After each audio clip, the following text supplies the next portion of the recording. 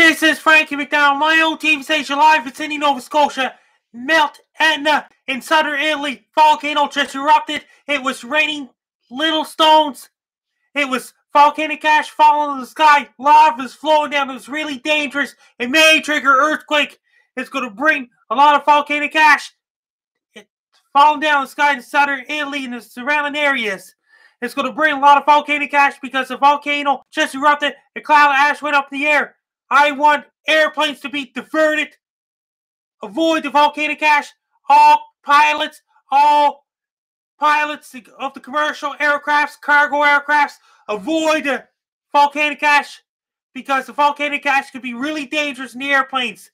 I want everyone to wear your oxygen tanks and wear your masks to protect yourself from volcano in southern Italy because volcano just erupted and may trigger an earthquake in southern Italy because the volcano erupted.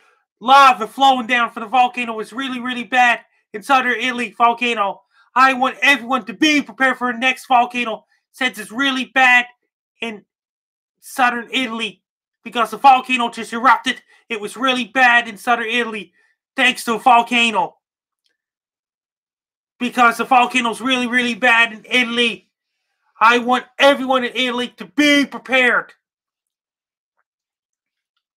Don't go near a volcano when it's a high alert. That's one.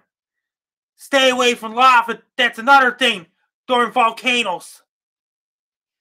Because the volcanoes can be really, really dangerous in Italy. Since it can erupt it and everything. Because the volcanoes can be really dangerous. Best luck to you. I'm Frankie MacDonald. Be prepared for people living in southern Italy. Take care.